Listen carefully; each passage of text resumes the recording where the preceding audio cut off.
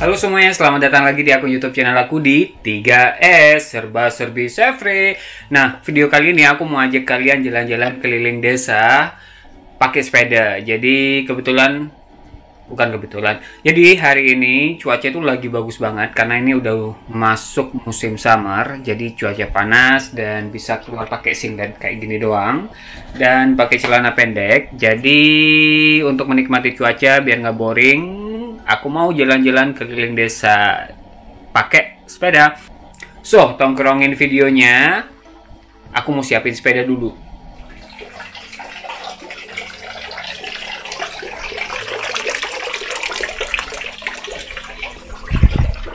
Nah, ini sepedaku guys, udah udah siap. Abaikan uh, view di belakang tempat sampah semua. Jadi sepedaku sepeda kayak gini, bukan sepeda sport. Jadi sepeda ya kayak gini lah. Aku suka karena ada keranjangnya kayak vintage vintage gitu. Terus kalau misalnya sekalian uh, kalau ke supermarket, kalau pengen belanja apa-apa bisa taruh di depan. So, ayo kita jalan kita berangkat so kita udah di jalan cuacanya bagus banget kan nah kalau di Jerman itu kita nyetirnya di sebelah kanan guys. Kita kan sebelah kiri kita di sini sebelah kanan.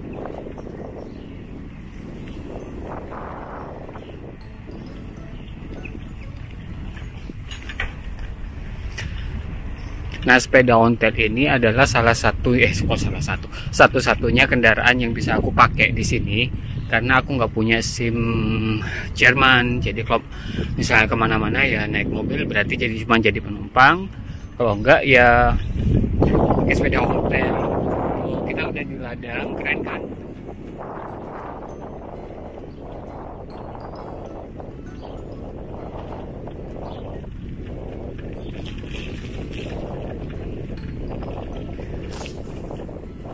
Jadi suasana pedesaan di sini.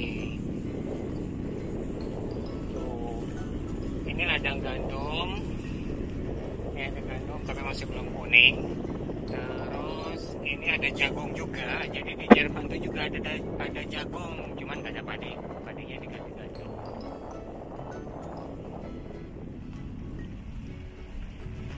Oh cuacanya bagus banget, cerah, nggak ada awan, lumayan hangat dan indah banget tuh pemandangannya ladang ladang dan ladang.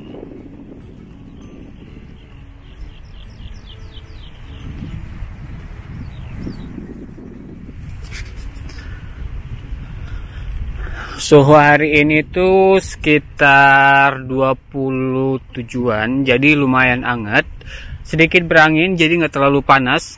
Kalau di Indonesia kan uh, setauku di Bali tuh uh, panas tapi nggak ada angin. Walaupun ada angin tuh masih nyengat banget. Ini angetnya tuh seger banget enak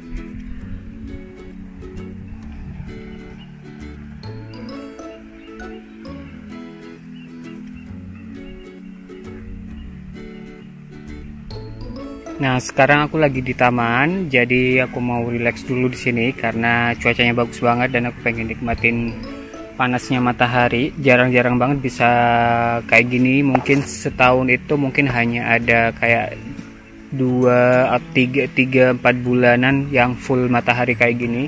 Itu pun kalau misalnya kita lagi free baru bisa nikmatin. Kalau misalnya enggak kan harus kerja, jadi di dalam ruangan terus kayak gitu.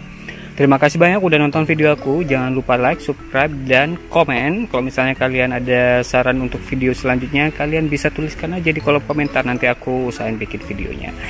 Salam hangat dari Jerman, salam summer dari Jerman. Jadi ini bahagia banget udah bisa nikmatin matahari. Sampai ketemu di video berikutnya. Vielen Dank, cus!